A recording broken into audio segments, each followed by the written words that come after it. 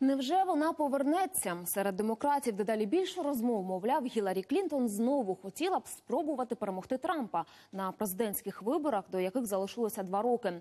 Наскільки це реально? Дмитро Анопченко з'ясовував, чи потрібен американцям ну, такий камбек.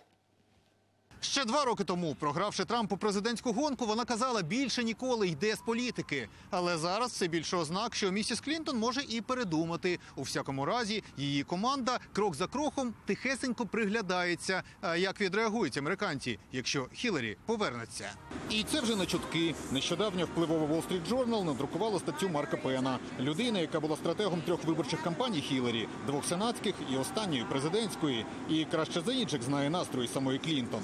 І в заголовку цього матеріалу Хіларі знову балотуватиметься. Немає знака питання. Це ствердження. Мовляв, вона легко виграє праймеріс, адже серед демократів, як і раніше, немає нікого, хто користувався такою популярністю. Сама Хіларі розсудливо отримає паузу, з'являється на публіці рідко, про свої плани мовчить. І стаття її політтехнолога пробна куля. Спосіб побачити, як відреагують медіа, товстосуми, які традиційно фінансують кандидатів, і самі американці.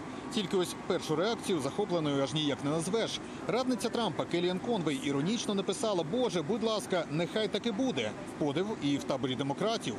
Що цікаво, проти повернення Клінтон зараз навіть ті, хто два роки тому так палко за нею агітували. Навіть журналісти CNN написали: Хіларі, зупинись, не треба. В ефірі телеканалу, який, мабуть, найбільше її підтримував, провідні політичні оглядачі країни відверто говорили, повірити не можуть, що таке можливо. Зійшлися на тому, що Клінтон всіх розігрує, проте медійна артпідготовка її команди свідчить все не так просто.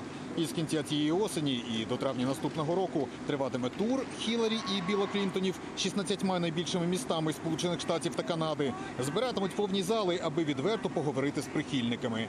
Рейтинги Клінтон теж не такі вже й погані. Останнє опитування інституту Гелапа дало їй 34% схвалення. Це, звісно, небагато, адже в період президентських перегонів цифра була за 40, але ж і дії Трампа зараз схвалюють лише 50% виборців. А він, на відміну від Клінтон, весь час у всіх на очах. А ось у керівництві демократичної партії можливому камбеку зовсім не раді. Багато хто, зокрема і Барак Обама, вважають, що це не Трамп переміг, а Клінтон програла під час попередньої кампанії і вже роблять ставки на інших кандидатів. Але якщо Хіларі таки вирішить повернутися, її перемога під великим питанням. А от сплутати однопартійцям всі карти вона і справді здатна.